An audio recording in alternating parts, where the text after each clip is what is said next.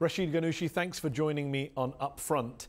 Um, this year's Nobel Peace Prize uh, winner was the Tunisian National Dialogue Quartet, an unelected group winning the Nobel Peace Prize for Tunisia. Uh, it was given to them for saving uh, the Tunisian democratic process from the brink of collapse in 2013. Is that evidence that actually Tunisian democracy is not in the best of state?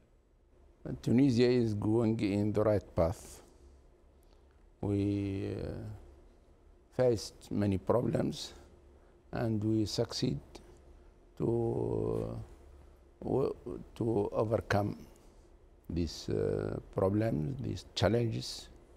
We opt on uh, the dialogue, consensus, and uh, uh, we try to avoid any sort of exclusion of any part of Tunisian people. Yes, but the quartet group, democracy. The quartet group, which won the Nobel Prize, was an unelected group. It was a civil society group. Did they win? Did they do as well as they did because Parliament in Tunisia wasn't doing well? They had to step in and save the Parliament. The heads of uh, civil society had uh, had been elected also through their people. Mm. So it's not. Uh, okay. Uh, you said in a recent talk here in Washington, D.C., that you are, quote, committed to not allow the old practices of oppression to return. Um, you were, of course, referring to the repression of the former dictator Ben Ali, uh, the kind of repression that you and your party Ennahda were victims of.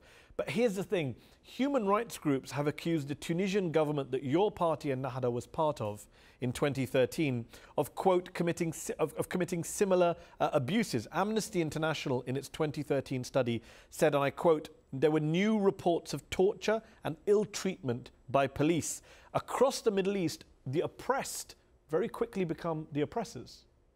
We appreciate what the human rights leagues and uh, leagues uh, have done to control what happened in Tunisia because we are, as Islamists, the most victims of uh, dictator, former dictator regime.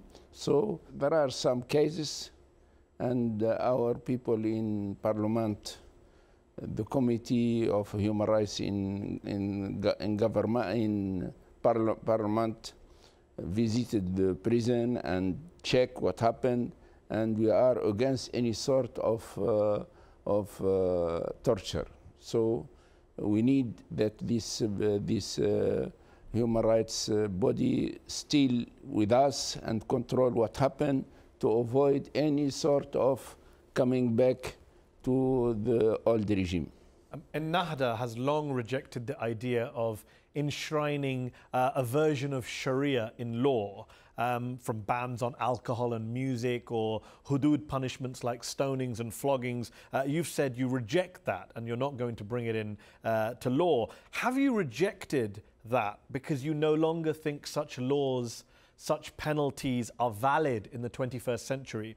Or is it a tactical decision? Uh, you don't think you have popular support for them yet? No, it's not tactical uh, decision, but uh, you know that our constitution, in our poli all our policies are based on the notion of, con of consensus.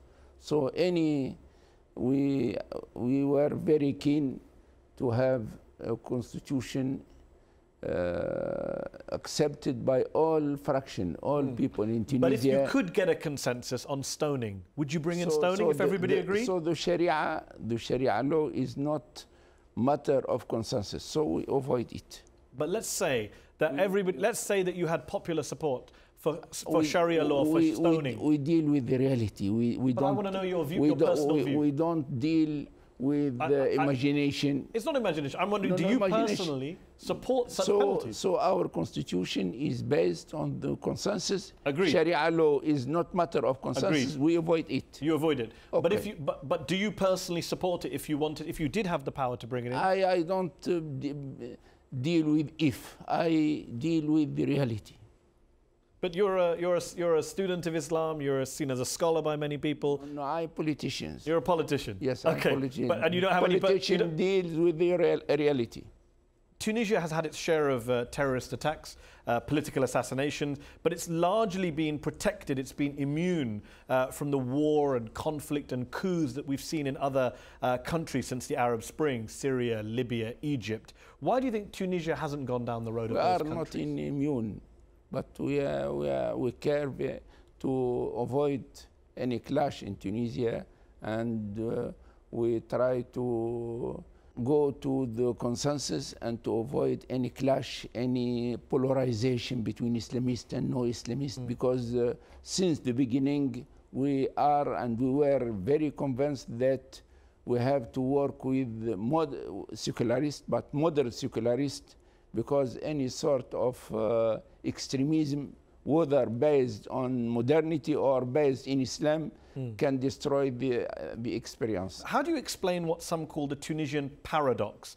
On the one hand, it's the country with perhaps uh, the most democratic elections in the Arab world, an Islamist party which is willing to talk about dialogue and sharing power.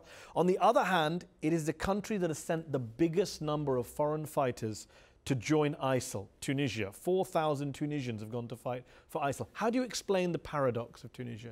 There isn't, there isn't any paradox because this phenomena is strange uh, in Tunisia. It's uh, heritage of uh, Ben Ali uh, during Ben Ali regime.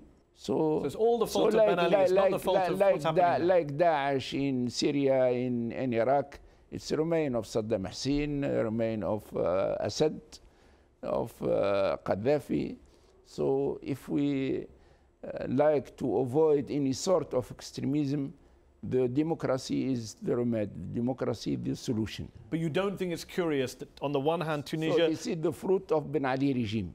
How do you what? stop it? How do you stop, stop it? Uh, spread democracy. But Tunisia is democratic, you're saying, no, so it's, it's, not working. It's, it's very, uh, very young democracy, Tunisian democracy. So you don't think there's any ideological take, it takes, component? It takes time. You, you, don't think there's any ideological we, component? We, there's an ideology that they want to go and fight for a caliph? no, we need time to uh, deal with this uh, reality, with this uh, the extremism through dialogue, through, through, through the police, security means, through development, but uh, no future for these phenomena in Tunisia uh, and you, in, you say, in Arab you, world. Also. You say no future. Following the attacks this year on the Bardo Museum and then on the beach resort in Sousse, are you worried about a growing ISIL presence inside of Tunisia? No, I'm not worried.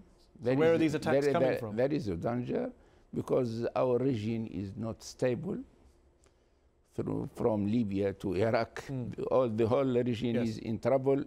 There is uh, the the extremism are there.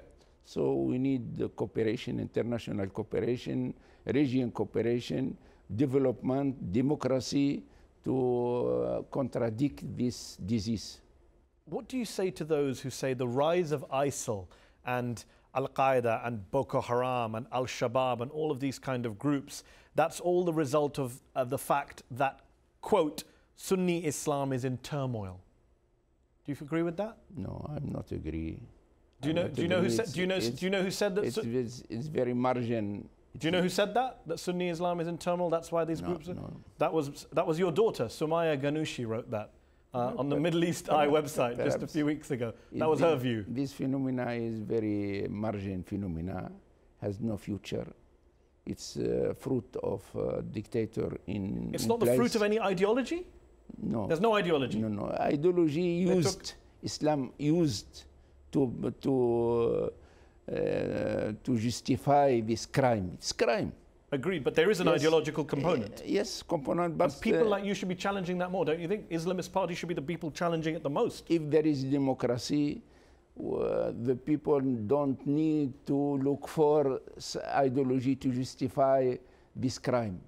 But a lot of people are joining ISIL. They're coming from France, Britain, America, which are democracies. You can't just say it's all lack of eh, democracy. there is an ideological component. There, there, is, there are many sort of uh, um, of uh, exclu exclusion.